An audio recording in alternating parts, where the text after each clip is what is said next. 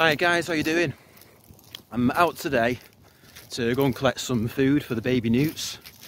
The newt larvae that have just hatched from eggs, or they're just hatching at the moment now. Um, so I thought I'd take you with me by video and show you what I do. Um, I'm out on some farmland now and the way that I found these couple of ponds, what I'm going to be looking at today, um, there's a couple of different ways you can find potential Daphnia ponds. And the way that I found these is by going onto Google Earth. If you go on Google Earth or Google Maps, I even, um, it, when you look at the maps, you can see small blue spots on farmland and they're likely to be ponds. And you go and have a look at them. Uh, the other way is just you know driving round. Uh, as you go through countryside, you might see ponds at the side of the road and things like that.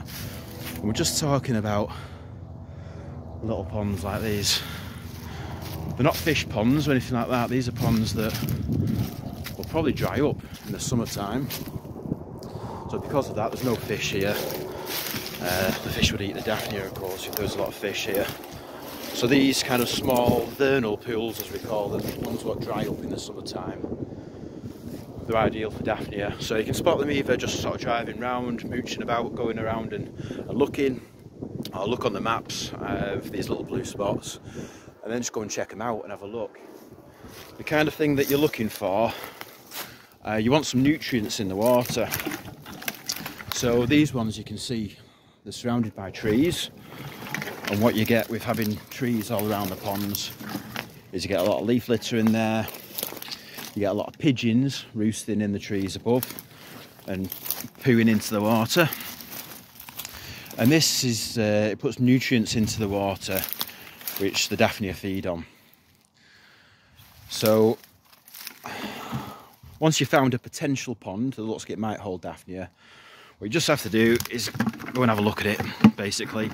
Some of them you might find when you get there they're absolutely useless. There's nothing in there for whatever reason and then others you try they're absolutely full the other problem that you have with daphnia is that the cyclic breeders they have booms and crashes so um, one minute they can be having a fantastic uh, they can be doing fantastic and breeding really well and then before you know it, they've had a crash and they all die off. And this is the first time that I've been to this pond this year. It's been a fantastic pond for me in previous years, but what is it going to be like now? I don't know. So I've got my nets, just a normal little aquarium nets with a fairly fine mesh. I'll whiz that through the water and let's see what we can find. Now if you have a look as you go, you can sometimes see the Daphnia in the water. I'm going a bit blind here really, I can't really see anything because it's very dark, but it's that dark kind of nutrient rich water that the Daphnia tend to do well in. And I can see a bit there. So if you see a spot, you know, where it looks like there might be a lot, try and get through those spots. Oh, there we go. Now if we have a look in there, there we go. That's a fairly decent amount of Daphnia. So I'll have a bit of a walk around the pond. I'll see if I can see any areas where um, there's any there's any greater numbers of them. Sometimes you can find one area of the pond there's hardly any, and then you go to the other end of the pond and there's loads. Well, that's not too bad for a start. So I'm using a bucket, fairly decent sized bucket. You can see how brown the water is there when you look at it. Don't cram it into anything really tiny um, because if you're going to get quite a lot of it, it needs a bit of space and water. One other thing that's great there, you can see there's a couple of little twigs and things, but other than that, I can't see anything other than Daphnia. What you want to look out for is things like water boatmen, diving beetles and things like that and if you see any of those you have to be very careful not to introduce those in with the the baby newts because they will eat um, Water boatmen and beetles and things will eat newt larvae. So be very careful of that. But that looks like pure Daphnia, and that's just from one dip of the net so far, so that's great. Right, I'm gonna get back in and see if we can get some more. I can tell you now as well, this is the first time that I've waded into a pond for a few months. It was last spring that was, well, last summer that was out here collecting Daphnia and I can tell you now, I need some new wellies. I've got a wet right foot at the moment. Alright, so the, you can see this kind of um, like a figure of eight movement that I use. Being careful not to go right down to the bottom where all the leaf litter and stuff is. You don't want a load of muck off the bottom going into your net. So let's see what we've got in our second scoop. Oh, that's decent. There's one of those water beetles, as you can see in the middle there. So yeah, just be careful to chuck anything like that out. Don't put that in with your larvae. So I'm getting a decent amount out of this pond. I'm just going to have a look because there's another pond right here next to it.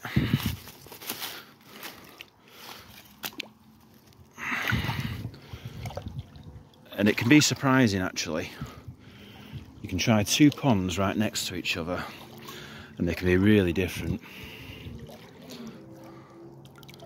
Ah, there's some in there as well. That's good. Probably not as much as the other pond.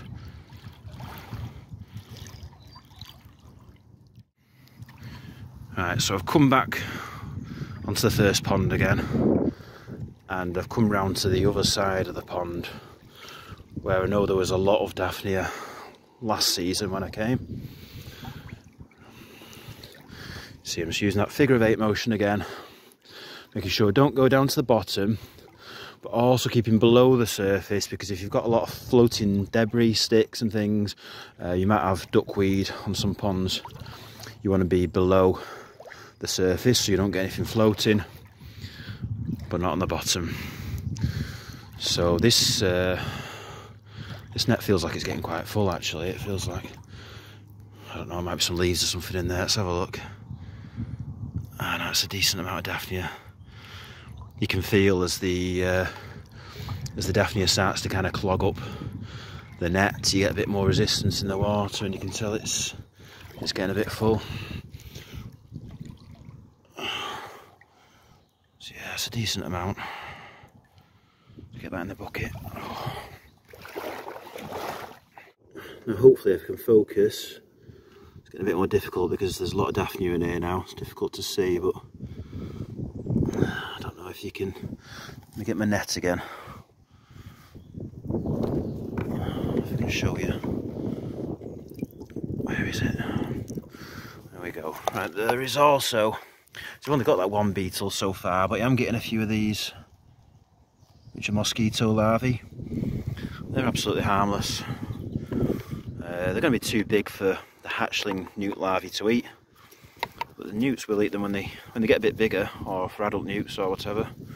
They're all good food. I suppose if they don't get eaten, you don't really want them hatching out into mosquitoes in your house or anything like that. Not so bad if they're outside, but but yeah, they're harmless enough to the newt larvae. Just got to keep a close eye out for those predators, beetles and water boatmen.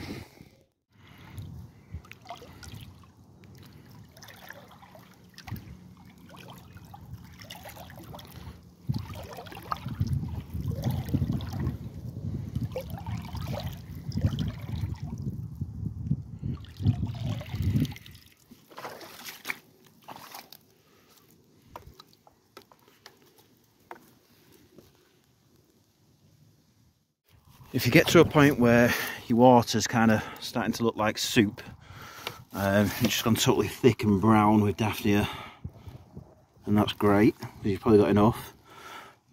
But also, you want to stop collecting at that point, because speaking from experience, I remember coming, getting a load of it, had a, bit, had a small tub, I had an uh, ice cream tub, I put a load of it in the ice cream tub, got it home. Took me about 20 minutes to get home maybe. And uh, when I got there it was all dead. So what size is this bucket? I don't know how many litres it is but you can see it's fairly decent size. And that'll be fine in there for half an hour until we use it as long as it's not overdone. So I hope that was of some use to you. Um, I've got a few larvae, some cristatus, some anatolicus, uh, just starting to hatch now, just a few bits and bobs. Um, you can get the Daphnia in there before they've even hatched. If you've got them in big tubs outside, uh, what I actually find is I take my eggs out, put them in big tubs in the garden, put them somewhere quite bright and sunny so uh, they develop from the warmth of the sun. What, what can also happen with that is you get algae growing in the water, the water can turn green and by putting the Daphnia in there before the newts have even started hatching, the Daphnia will filter feed the algae out, keep the water clear and reproduce as well while they're in the tub before the newts start to hatch and eat them. So yeah, it's a good idea to get it in nice and early. I've only got a few, couple of bits starting to hatch. Well, this big bucket full kind of kickstart all my tubs. So, as ever, I'll keep you updated with some more videos and things as we go through the breeding season and show you the development of that larvae. So you can see what I was talking about here actually. Uh, these eggs, some of them getting close to hatching. You can see the water's gone quite green. That's because there's no Daphnia in there. It's been catching a bit of sun. So, I'll get some of this in. A bit tricky, I'm doing this with one hand, but just make sure there's no uh, beetle larvae or anything like that in there, any predators. I don't need to put loads in. There we go, that's fine. And that water will soon clear up now with that Daphnia in there.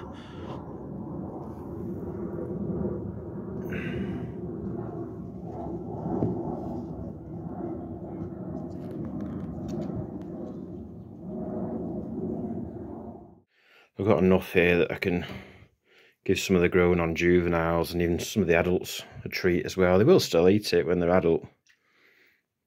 I don't to fill them up very much, but they seem to like it.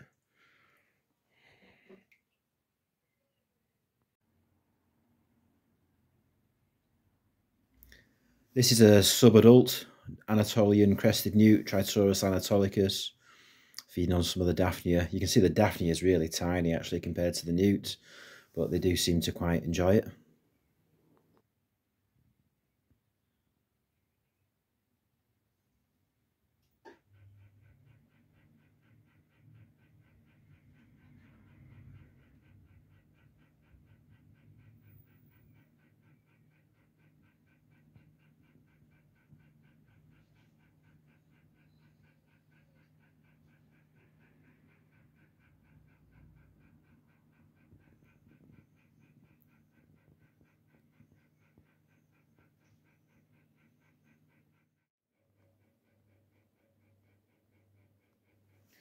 And some Flavistic Italian crested newts, Triturus carnifex.